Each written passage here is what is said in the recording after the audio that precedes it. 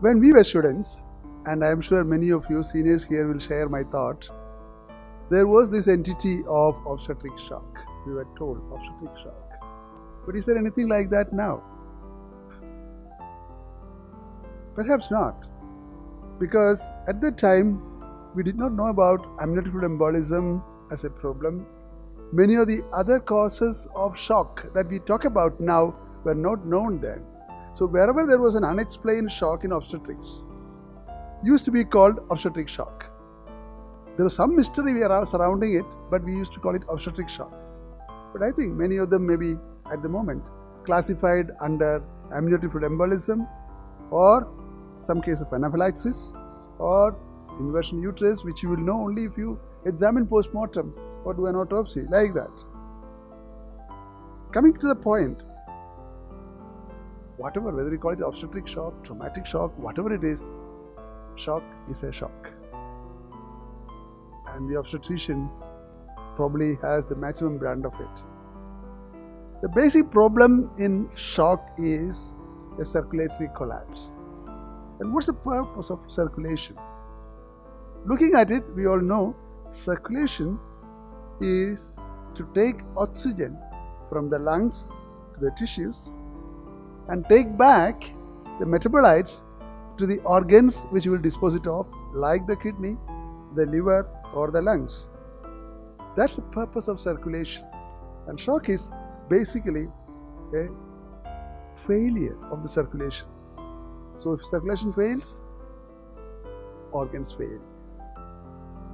So, the importance of the circulation has been recognized of late, and there has been a paradigm shift in our approach to shock, not only in obstetrics, critical care medicine as such, and all over medical world. And that is what we used to be taught and we were training as the ABC, airway, breathing and circulation has been rephrased as CAB, circulation, airway and breathing. So if you are alone to resuscitate a patient, I don't have assistance, your aim should be to re-establish circulation. If you are not able to look at the airway or the breathing, at least re-establish circulation. That is the best chance of survival of that person. So that is the paradigm shift that has taken in the approach. So the outline I thought, I'll just mention the few causes that we usually come across. What should be our first response? Then the importance of using the blood which is not in circulation in the patient's own body, that's a sequestered blood, back into circulation. And that is what the demonstration is going to be about. And further steps based on the particular etiology and some conclusions. The common causes. Unfortunately, even now, and as you have been hearing right from the morning, hemorrhage stands as the number one cause of shock, the number one killer of mothers. And if you are looking at from the angle of shock alone, fluid embolism is the other one. We will call it the nightmare of obstetricians. You heard a lot about sepsis this morning. But what is increasing now is the trauma as a cause of maternal death. I don't know whether you have started to experience that, but because we audit maternal deaths in our state, unfortunately, two of the causes of death that are usually not talked about or realized are one, the importance of suicide. With the Westerners, which the Westerners have already realized, they have changed suicide from as a fortuitous or an incidental cause of maternal death to a direct cause of maternal death. In the UK confidential review, they have changed suicide deaths from the incidental cause to the direct cause of maternal death. Unfortunately, in our state of Kerala also we find the same thing. Suicide rates as a cause of maternal death is on the increase. And the second thing is trauma as a cause of death. And the background, the reason, the large number of automobile accidents. Pregnant women either driving two wheelers or sitting on the front seat of the car or driving themselves the car, ending up with fatal accidents. So, trauma as a cause of shock. Anaphylaxis, which again in the pregnancy setting, very often its contribution is forgotten. Unless you really analyze, you will do the background by which the or when the patient collapsed, you will forget about it. You will not realize it, and other rare causes. So, coming to the presentation, hemorrhage, fortunately, in most of the cases, there is no diagnostic dilemma there. We know that we know that there is the acute collapse and the whole place, the floor is full of blood. So you know the cause for that. Even though all of us agree that estimate of blood loss in labor is almost always an underestimate. When you look at it, you say, oh, maybe one liter, maybe three liters. So it's an underestimate almost always. But what is worse is there can be blood loss which is not obvious. and that is concealed hemorrhage as happens in cases of abruptio placentae, especially when the placenta is posterior. Unless you have abruption conscious, you will forget about that possibility. And unfortunately, even ultrasound will not tell us about it because in the posterior wall, the probe, the, the sound waves will not reach. So be conscious about it, then only you will realize. And again, massive bleeding intraperitoneally from ectopic, especially late ruptures as can happen in cases of rudimentary horn pregnancy and of course rupture uterus. So concealed hemorrhage can be a contributor, but most of the time, unfortunately, it is revealed hemorrhage but underestimated. So that's how it presents. Obvious blood loss, when it is there, we get the reason why the shock has occurred, and of course, it is supplemented by your observation of pallor tachycardia and tachypnea.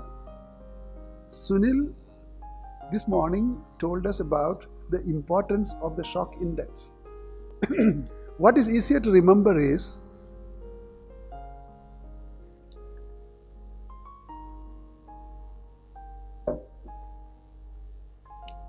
the heart rate of a patient should be less than the systolic blood pressure normally. If it becomes equal, that should worry us. If it reverses, that should threaten us that unless you act, you are going to have problem. That's the basic principle of shock index. Then tachypnea.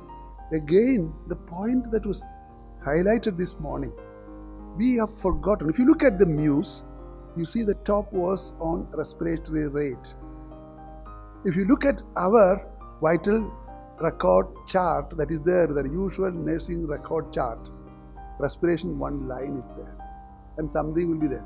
And I don't think anybody bothers about what respiration is.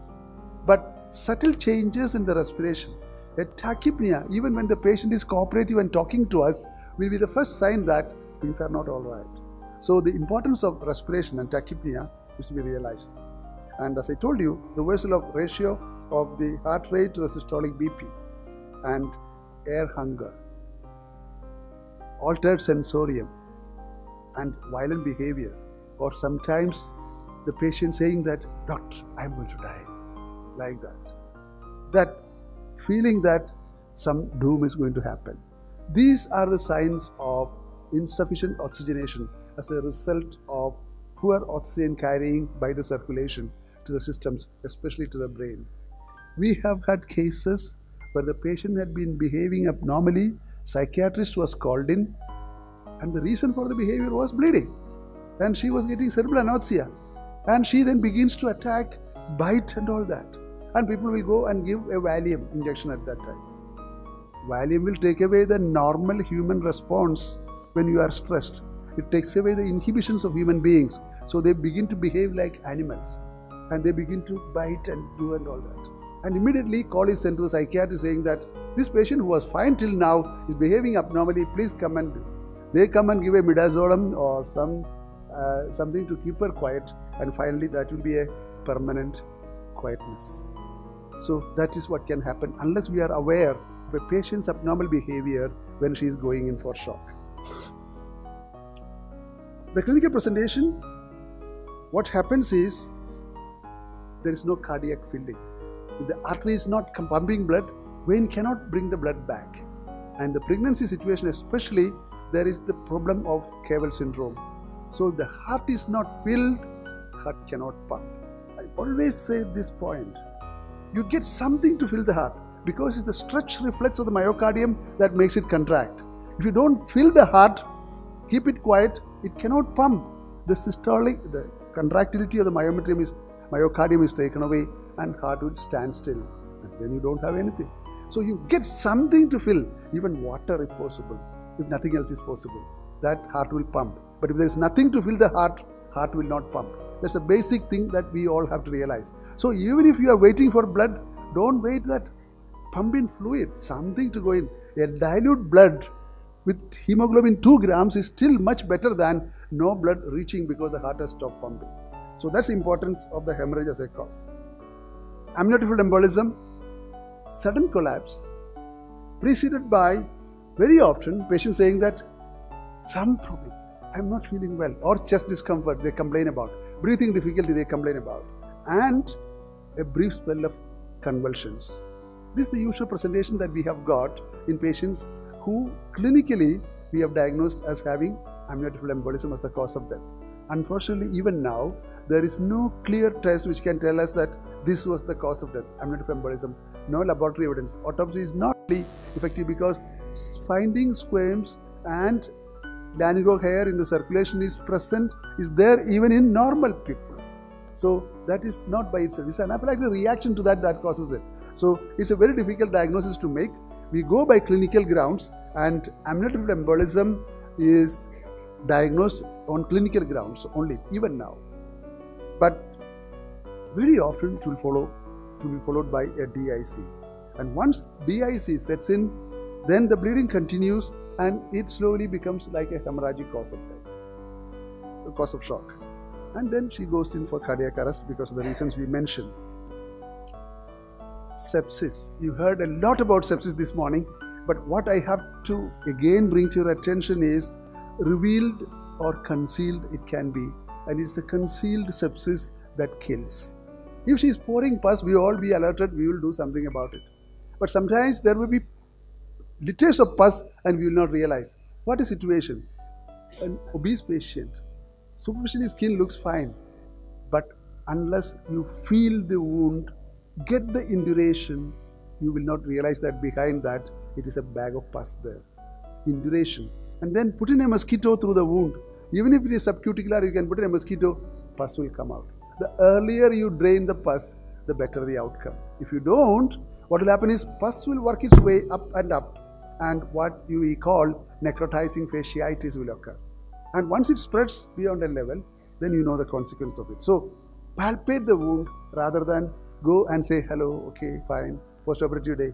Just palpate the wound. Of course, you should not be carrying infection from one to the other. So you have your hand up, feel the wound when you go for rounds rather than just you say smile and come away. Because when uh, pus there can be missed unless you feel and look for the induration. And the other one, of course, is the missing infection in case of PPROM. We have had cases where dead fetus and PPROM have been the cause of chorioamnionitis and death. Dead fetus in previous cesarean, because of the reluctance to do a repeat cesarean, go on waiting and finally infected. PPROM go on in conservative management without watching for signs, clinical signs of infection, ascending infection, ending up in sepsis. So these are the other things we have to watch out for. And as was clearly mentioned this morning, we may not get much time on our side to identify these unless we are conscious about that possibility. And urinary tract infection also has that cause. Trauma I already mentioned. Cause may be obvious in most of the cases, but you have to think about the concealed variety of trauma. Patient may be okay, but there may be a spleen rupture. There may be uterine rupture. And also, placenta can separate without your knowledge. So that's about trauma as a cause. Anaphylaxis, the, the tricky thing here is patient would have received the same drug once before and the second injection. So nobody will call, think that as the cause of the anaphylaxis. We had three patients dying like that. Patient had one injection, no problem. So second injection was just pushed in and just went away. And the infection as usual given, patient later collapsing. and we did not realize that this is the cause because already I have given this drug before. So anaphylaxis should occur the first time. No, anaphylaxis can occur subsequent times as well. And uh, rare causes, we don't want to dwell on that, like cardiac causes, cardiomyopathy, peripartum, cardiovascular, other problems like the vessels rupturing, dissection, dissecting aneurysm. All these are relatively rare, and of course, rupture of other viscera like the spleen. But the first four or five that we mentioned are the ones. What should be our first steps? The quick assessment. Ensure that surroundings are safe for it. This is not applicable to the hospital setting, but if you are seeing somebody on the street or surrounding, you have to protect the patient and yourself. Suppose it is uh, knocked out, knocked down by a motorcycle or something on the street, you should not stand there in the middle of the road and try to rescue. The next car will run over you as well. So, safe surroundings should be ensured first and then call for help. These are the first steps that we have to be taking. And then, as I told you earlier, circulation. And for circulation, it's only one thing cardiac compression. All of us should learn, even if you are 70 plus, even if you are 16 or 17 year old, all of us have to know how to give a cardiac compression, how to hold your hand, how to use the heel of your hand, how to keep your elbow straight, and how to use the weight of your upper body to give that compression at the rate of at least 100 per minute. And that's not easy. We cannot continue to do it, especially at somebody like my age. We cannot continue to do it. But we have to because until help comes, that's the only thing that may keep that person alive. So, what are you doing? You are using the sternum to go down and press on the heart, which acts like a bellow, push out the blood, allow that to come back, refill, again you go in there. So we all have to learn and practice. In other words, basic life support.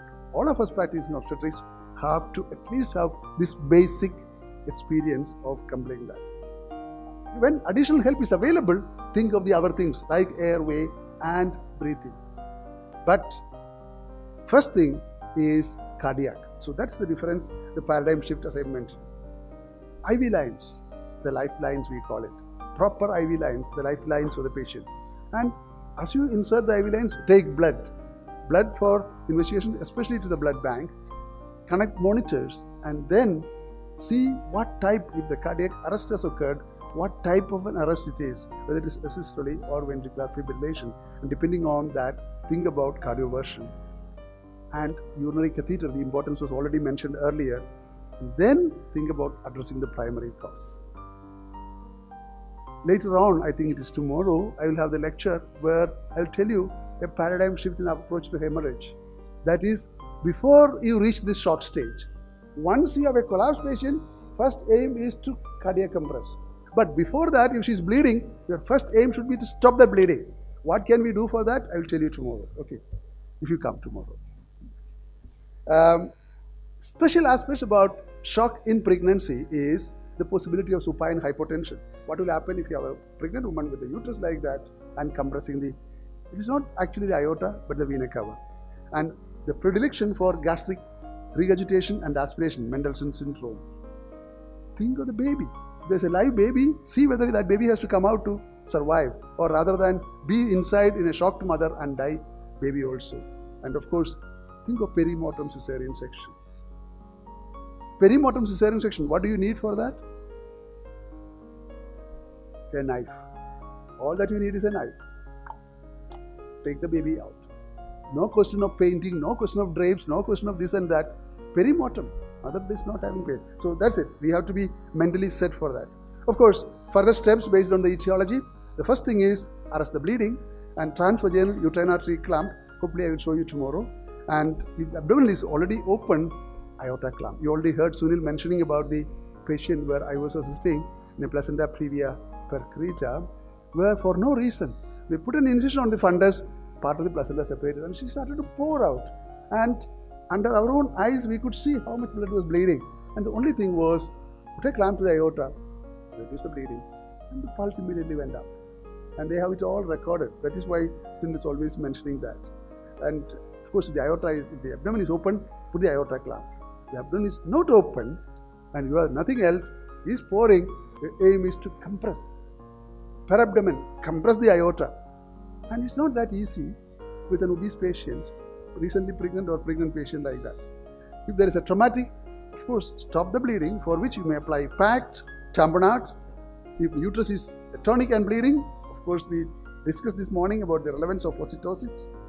Arrange blood and blood products and alert the massive transfusion protocol. MTP, another expansion for MTP, isn't it? It's not medical termination of pregnancy alone. There are acronyms in our specialty which has different meanings. And MTP, the importance of termination of pregnancy is not the one. In this context, it is the massive transfusion protocol. And as Sunil mentioned, all labor rooms should have a massive transfusion protocol. The point is, when the patient is pouring out, the obstetrician cannot take the list and find out what the number of the blood bank officer is, find the donors who are O positive and all that. It should be taken over by other people. That is massive transfusion protocol. If it's hemorrhage, um, then hemostatic procedures, we already mentioned and showed you some of the videos, how to stop the bleeding from the uterus, the importance of brace stitch and internal artery ligation, and you already heard what can be done by interventional radiology to stop the bleeding. And then amniotic embolism, that is what you have in very often is a result of hyperstimulation. And of course, unfortunately, very often combined with vasodilators being used. Drugs like epidosin, drotaverine being used late in labor, keeping the vessels open, asking the amniotic fluid, please come my way, like this, to my circulation. That is what the vasodilators are doing late in labor. So please stop using them. And hemorrhage and shock are final common pathway for hemorrhage, of course, amniotic embolism, I told you, and sepsis. So for almost all of these, final common pathway. And of course, consider perimortem cesarean section. Sepsis, already mentioned. Surviving sepsis campaign, you already heard. So I just rushed through the care bundles. The first three hours, the importance that has been to be brought out is the importance of lactate. Lactate reflects the metabolic state. That is why send blood for lactate immediately. You already heard about that. And of course, other investigations like culture, starting antibiotics early and broad spectrum antibiotic, you already heard repeatedly that mentioned, and small dose of steroids. The second three hour bundles, further fluids. The important thing is fluid challenge as they call it. One liter in half an hour, run it in, and that will tell us how good the system is, whether we can respond.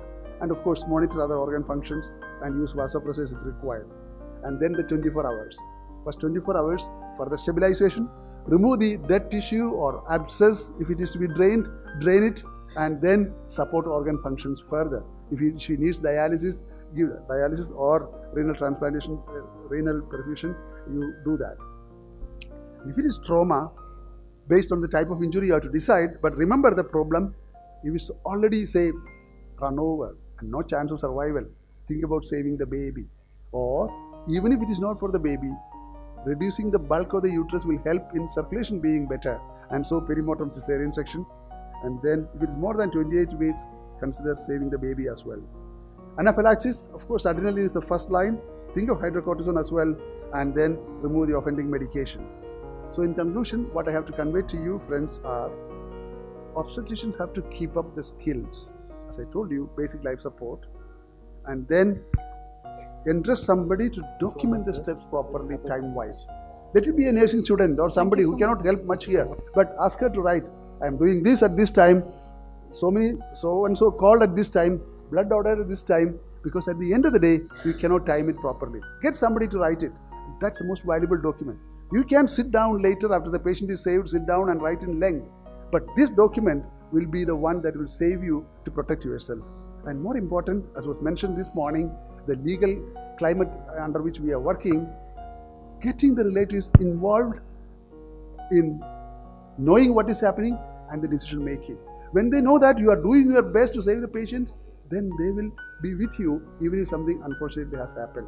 Of course, it need not be the case always. They will try to find fault with you for whatever, even with good intentions you do, but at least that's the best that we can do. And get the relatives involved and informed in decision making. Now, a couple of slides only about the NASG or the non-pneumatic anti-shock garment or the life wrap as it is called and you will have a demonstration by my colleagues here. Uh, but the basic principle is only this. even when a patient is going in for shock, there is part of the circulation where blood is there but not getting into the circulation. Blood is coming back to circulation through the main vessels, main veins. But there can be massive amount pooled in the veins, in the muscle, in the buttocks and parts in the abdomen. So the whole principle of NASG, uh, Suellen Miller who promoted it and I know that there are so many strong advocates and uh, pioneers, I should say the disciples here in Bangalore we, who go around and promote it. So that is the principle of it. It's cheap, reusable and of course can be taught even to non-medical persons and so we would certainly think about it. Unfortunately, it cannot work on an individual level. It has to be the system because all the whole system, especially the ambulance service, should take it up. Then only it will work well. But that's it. Thank you very much.